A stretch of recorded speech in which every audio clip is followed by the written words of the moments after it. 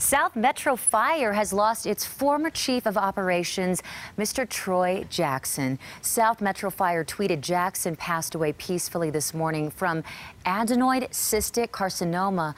This is a rare job-related cancer that we've seen crop up with various firefighters throughout time. Chief Jackson was hired in 1990 as a firefighter. He worked his way up. He stepped down as assistant chief in 2019 because of health reasons. Flags will fly at half staff at all South Metro Metro facilities, and you'll see badges will be shrouded as they remember a man they call a phenomenal leader and mentor.